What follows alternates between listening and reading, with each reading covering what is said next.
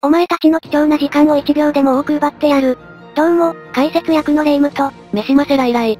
聞き役のマリサだぜ。前回イラン・イラク戦争をやったから今回はその続編的立ち位置の戦争である、湾岸戦争、これをやりましょう。歴史上の確執やイラン革命の余波を恐れたなどの理由により、フセイン率いるイラク軍がイランに侵攻したことで始まったのがイラン・イラク戦争だったわね。グダグダのまま約8年続いて最終的に講和を結ぶことになるんだけど、それによりイラクに残ったのは、100万の大軍と莫大な借金、そしてフセインの肥大化した妄想だったのよ。その肥大化した妄想っていうのは、自分だったら中東の覇者になれるんじゃないかっていうもの。グダグダの末の講和だったとはいえ、最終的にはイランを押していったからもともと持っていたおかしな考えが水ぶくれしちゃうのね。独裁者あるあるだな。そうね、権力を握り続けると人ってそうなるのよ。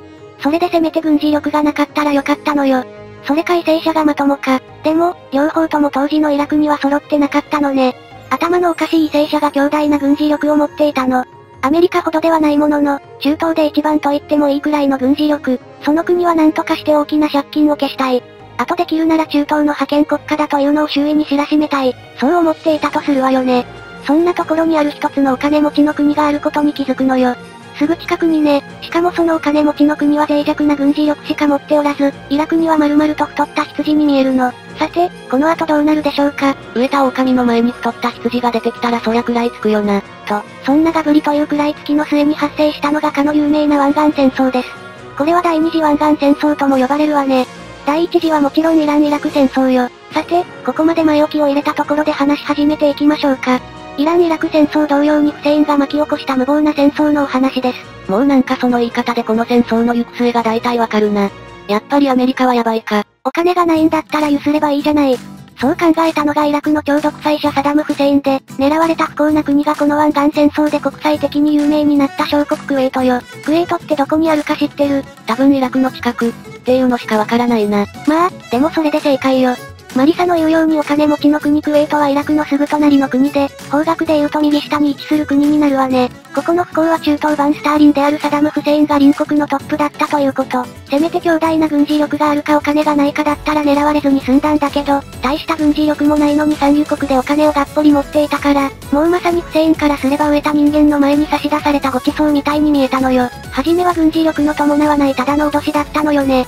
簡単に言うと、難癖をつけて借金を帳消しにしろって言ったり、賠償金払えって言ってたの。でも、それってこの時に始まったことじゃなくて、クウェートが独立した1961年以降イラクがよくやる手だったのね。独立した翌年にはもう勝手に軍隊送って国境変更しろとか言ってきてたのよ。だからクウェートからすればまたかって話。いちいち要求を飲んでたら国が滅んじゃうから拒否をして事態の生還を決め込むわ。いつもだったら、この後問題が起こったとしてもちょっとした小競り合いで済んだのよ。でもね、この時のイラクは今までとは大きく様変わりしていたのよ。膨大な借金で切羽詰まっていたし、相手の国の一部ではなく全部を取れるくらいの強大な軍事力を保有する国になっていたの。それでもね、フセインも初めはクウェート全土を制圧するつもりはなかったらしいの。そのフセインの行動を変えてしまうのがアメリカの出したまずい声明だったのよ。どんな声明だったんだ？要約すると、アメリカは湾岸諸国と防衛条約とか結んでないから、仮にイラクがクウェートに侵攻しても別に防衛の義務などない、とそんなことを言ったのよ。それまずいんじゃないのか？結果から言うとかなりまずかった。フセインはこれを BBC 放送で知ったらしいんだけど、これを聞いてクウェートを攻めてもアメリカが出てこないとそう思っちゃうのよ。実際は、思いっきり出てくる。それで派手にイラクを殴りに来る。でも、どういう魂胆なのかそういうことによってイラクを誤解させてしまうの。あちゃーだな。これが決め手だったわね。これが湾岸戦争勃発の直接の引き金。それまでクウェートとの国境沿いに兵は集めていたんだけど、全部を取るつもりはなかったから弾薬とか食料はろくに準備してなかったの。だからこのイラクの軍事行動を見ている国はほぼどこも全面戦争に入るなんて思ってなかったのね。それはもちろん原因を作ったアメリカもそうよ。それなのに、突然全軍にクウェートに攻め込め、目標はクウェート全土の制圧だって命令が出るじゃない。だからみんな驚いたらしいわね。図らずもそういう意表をついたイラク軍の奇襲という形で始まったのがこの湾岸戦争。1990年8月2日のことで、これは本来なら防げた戦争だったのよ。予想外と誤算と読み誤りが招いたこの戦争の初戦のリードを握ったのは当然イラクね。クウェート軍を軽く蹴散らして、ほぼ1日でクウェート全土を制圧するわ。ほぼ1日っていうのもすごいな。電撃作戦は見事に成功ね。ただ、この初期の段階からイラクは致命的なミスを犯すのよ。致命的なミスっていうのはどんなここは王政でサバハ一族が政治を取り仕切っているんだけど、そのサバハ一族を取り逃がしちゃうのよ。本当は軍隊を送るよりも先に特殊部隊を送ってサバハ一族を捕まえないとダメだったのね。以後戦況を有利に進めるためよ。でも、それができず、サウジアラビアへの亡命を許し米軍介入の口実を与えちゃうのよ。口実を与えるも何も勝手に侵略したのはイラクなんだから、もうそれだけでアウトだけどな。そうね、仮にサバハ一族の救援要請がなくても、国連での決議のもと多国籍軍を送ることはできるわよね。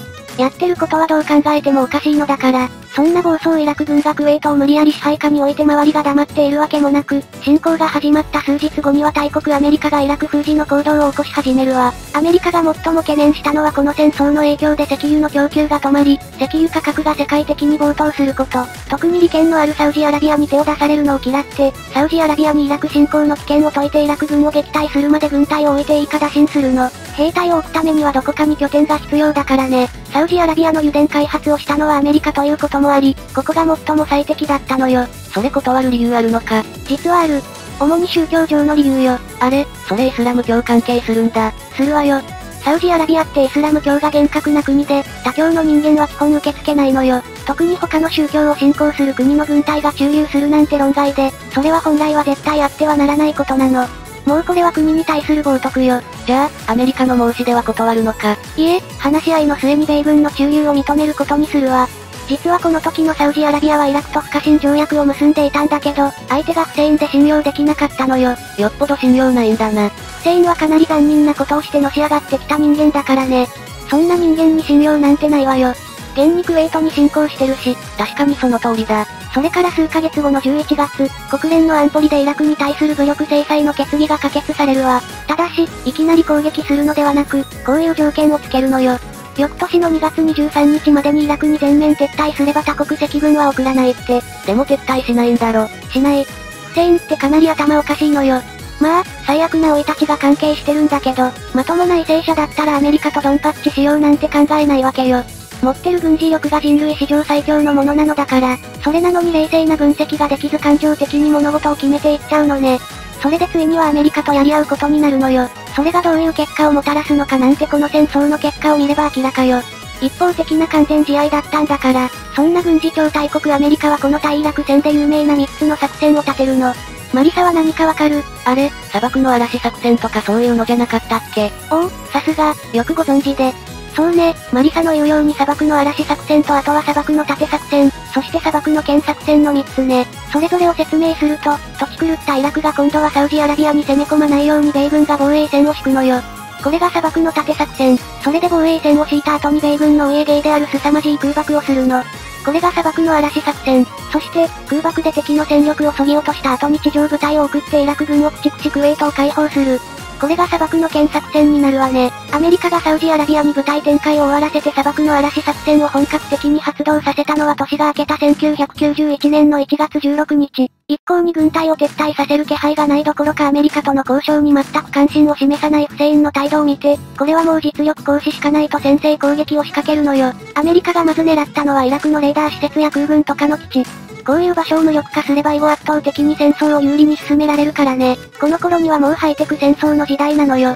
兵力なんて勝敗の決定的条件にはならず、どれだけ科学的な戦い方をするかが勝利の決め手になるの。軍事技術の発達が凄まじいからミサイルを飛ばせばもう狙った通りの場所に当たるのよ。これでイラクの主要施設は大体やられるんだけど、この時点でもう勝負はついてるわけよ。初日の空爆の出撃回数が2000を超えてしかもそれがバシバシ当たるから、まさに作戦名通り、砂漠の嵐、になったわね。その間イラク軍は何してたんだ？唖然として一方的にやられるか、とりあえず逃げるか、あとは地下シェルターに避難するかね。ただ、地下シェルターって言っても、米軍の落とす爆弾の威力が凄すぎて逃げ込んでもあんまり意味なかったらしいけどね。米軍の力を見くびったな。フセインもドギも抜かれただろう。それはまさに、もうここでネタバレしちゃうけど、この湾岸戦争って40日の空爆と4日の地上戦で終わったあっけない戦いなのよ。アメリカの超ハイテク空爆がなければイラク側もなんとかなったんでしょうけど、バシバシやられちゃってもうポカーンとするしかなかったのよ。反撃はしなかったのか。できる範囲内でするわよ。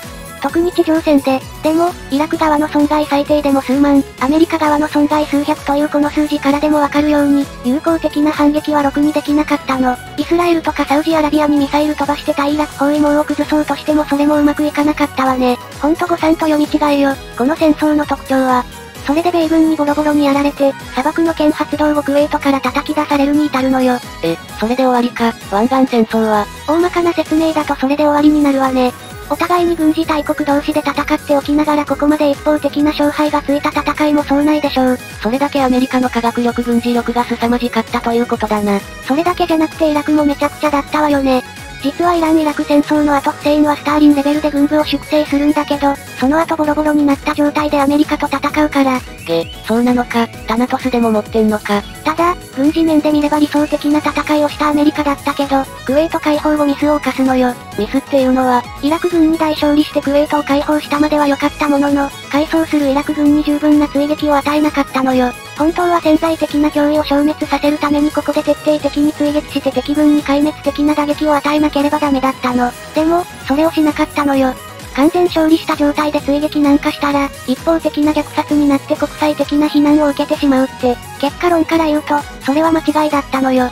勝利の余勢を買って敵の本体を壊滅させて、最終的にはフセイン政権を崩壊させなければ本当の勝利じゃなかったの。それでも人道的配慮からアメリカはそれができなかった。だからあれだけ打撃を与えたというのにフセインはしばらくすると息を吹き返して、いつものようにイラクで強権政治を敷くのよ。これはアメリカのミスだったわね。とは言いつつも、それから十数年後にイラク戦争を起こしてとどめは刺すんだけどね。ブッシュジュニアの時だな。そうね、評判の悪いブッシュジュニアの時ね。この湾岸戦争がパパブッシュの時のことだからこれも何かしら関連性があるのでしょう。でもまあ、それは別の戦争の話だからここではしません。それでは、今回の動画はこれにて終わりになります。皆さん、ここまでご視聴いただきありがとうございました。ました。もし興味があれば他に歴史グルメと闇の歴史の動画を別チャンネルで上げているのでそれも見てみてくださいね。あと、Twitter もやっていますのでよければピーピングしてみてください。ではでは、機会があればまた違う動画でお会いしましょう。へばな、グブリーサビラ。